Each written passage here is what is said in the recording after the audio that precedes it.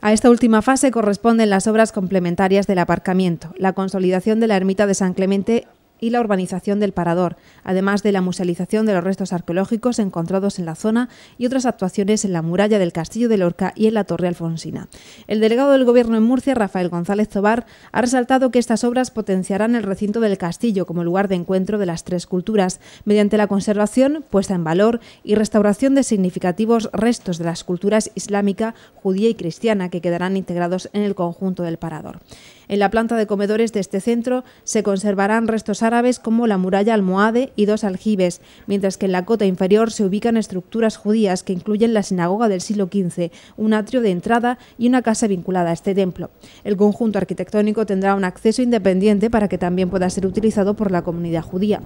En la base de la colina estará la zona cristiana, que incluye la ermita de San Clemente y los elementos arqueológicos que la circundan.